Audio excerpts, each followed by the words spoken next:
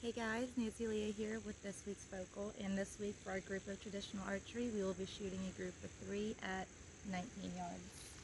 I'll be shooting my Zipper SXT recurve with carbon Z4 lens, and she is 35 pounds.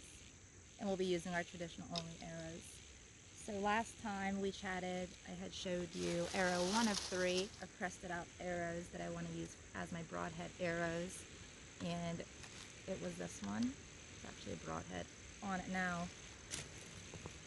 So that's the one I showed you, and I added some helical batwing feathers. So the other two, the second one, I ended up instead of doing the orange and red, I left it with just the red and silver. I thought it was really pretty. And then arrow three, which I actually have to do a,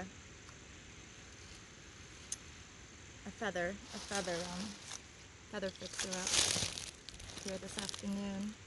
And this one I did, I mixed up a nice shade of orange and then I added in some thin red and silver lines.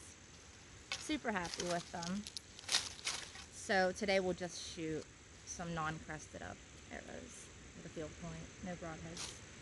So I just wanted to kind of catch up. haven't made a focal video in two weeks, the week before um, archery season opened up. So archery season opened up about a week and a half ago on Saturday and although I was super excited for the season to start, I knew I was going to be doing what I did the last two years, which was hunting in um, the general location of my home, the um.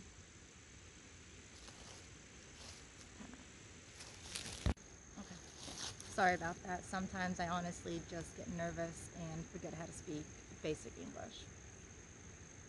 So, archery season. So, what I was trying to say was, so I went into this season thinking it was going to be like my first and second season with the bow, which was to hunt our property around the house. And then we also have a lease that is right up against our property. So, that's exactly what I did. But year one and year two, I was used to an early season, just seeing a couple does here and there. Um, seeing a couple of bucks here and there too, nothing really big or mature or anything. Um, but overall, very quiet early season. So I went out this past Saturday expecting the same thing to go down, right?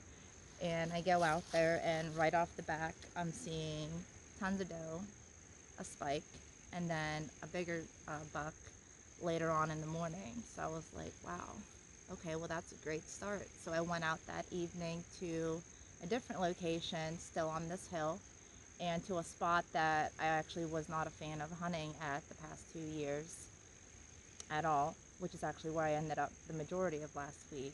So I went out there Saturday evening and just kind of wanted to scope it out, see if I saw anything, and I seen, so it's up on this hilltop and there's acorns that are coming down right now, so popular area. So I see a group of doe to my left hanging out, eating, and then there's a group of doe to my right that were coming in also eating. And then shortly thereafter, I seen a nice eight point buck. And he never came close enough that evening. But even so, I was like, wow, this is sweet. Like, there's all these deer out here already. And like I said, I was never a fan of this location to begin with. So I climbed out of there, and the following day was Sunday. Can't hunt in PA on Sunday still.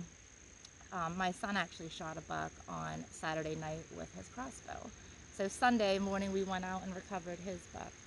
The following day, Monday, and actually every day last week, my husband was kind enough to manage to get some days at home instead of at work so that he could hold the fort down and take care of the kiddo and our dog who got spayed. Poor dog. She's doing better. But anyhow, so I got out every morning and every evening last week, and same thing happened in the same location.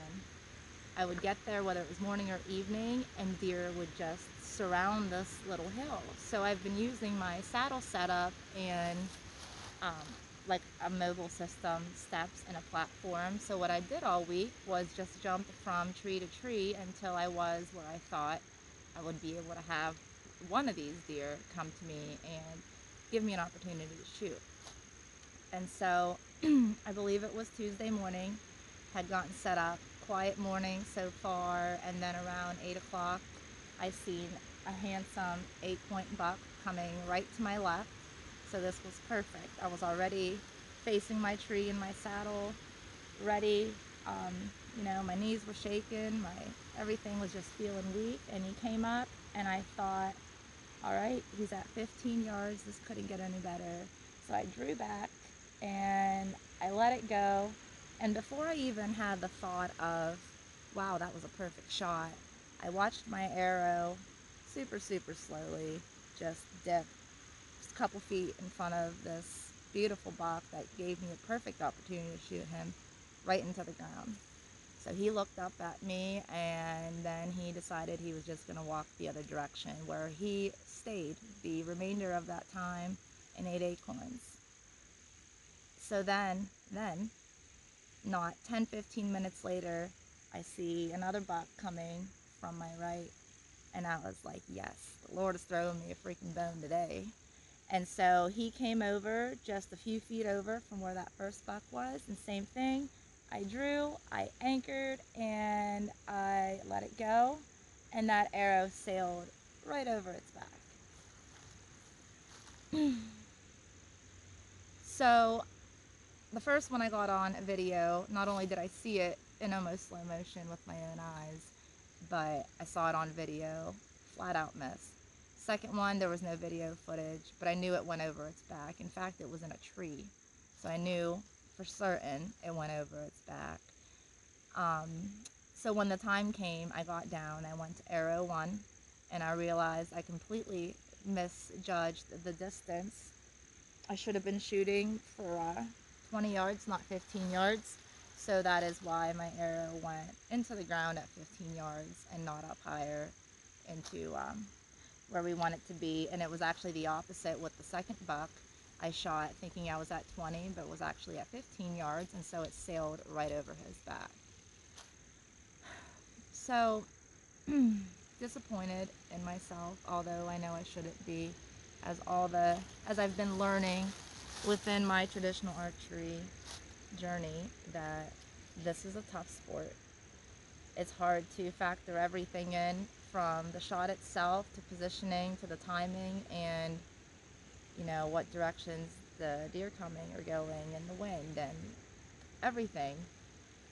And my biggest issue is judging distances. I'm not very good at judging them out even in the yard, let alone in the woods. And but I thought I thought after three years with the trad bow, you know, I at least knew my 15 and 20 yardages. Apparently not. So I'm going to start walking off the steps when I get to my tree before I set up. So I have kind of a, a guesstimate, you know, about this area is 10 yards, about this area is 15 and 20. So just wanted to share that experience. Um, and like my mentor says, nothing to be ashamed of. Trad misses. So, anyhow, thanks for letting me share. Let's head on over and shoot these arrows.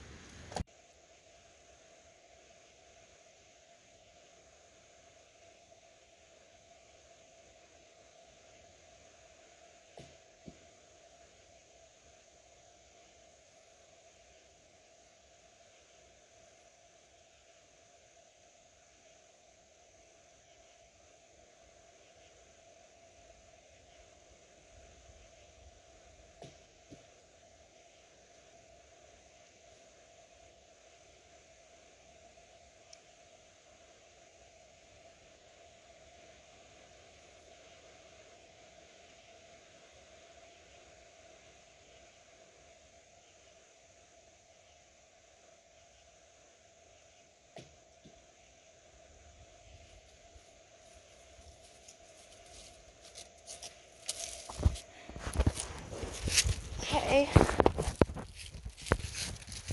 think I have a good group actually. Really hope you can see it on video. Yay. That makes me feel a little better.